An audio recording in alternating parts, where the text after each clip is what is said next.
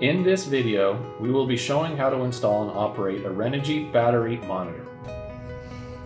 To begin installing the battery monitor, you will need a shunt, a full battery, and some type of load and charger.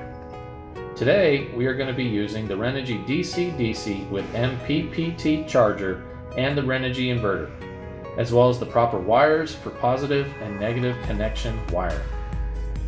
Begin by connecting the B- terminal of the shunt to the negative port of the battery bank.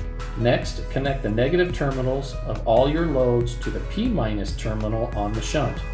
In this case, it's the negative terminal of the DC-DC with MPPT and the inverter.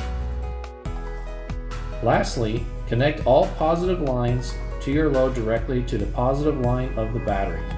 In this case, we're connecting the positive terminal of the DC-DC with the MPPT and the inverter to the positive terminal of the battery.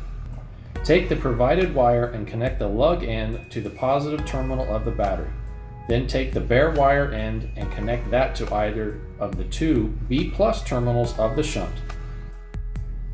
Once you've ensured the wires are connected to the correct polarity, connect the shielded wire to the port on the shunt and the port located behind the battery monitor LCD.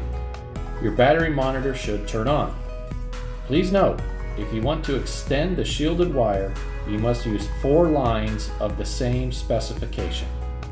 To start your monitor, you will need to calibrate the percent shown. To do so correctly, you will need to make sure your battery is completely full. With a full battery, hold down the up arrow button for approximately 3 seconds. This should display 100% when done correctly. Alternatively, you can start at 0% with a discharge battery by holding the down arrow for approximately 3 seconds, and the display should show 0% when done correctly. Please note, you will need to recalibrate when replacing your batteries. Use the up and down arrows to maneuver through the screen, and the double back arrow to go back to the previous screen. To go into the parameter settings, press the OK button for 3 seconds. You will see you're able to program the battery amp hour capacity. The high voltage disconnects, the low voltage disconnects, and an alarm feature for when the battery reaches a certain amp hour rating. To set the battery capacity, highlight CAP and press OK, by which the first number will flash. Use the up or down arrows to set the number to your battery capacity. Press OK again when finished to move on to the next decimal place. Once you've gone through to the end, the first number will highlight again by which you press the double back arrow to get out of the program setting.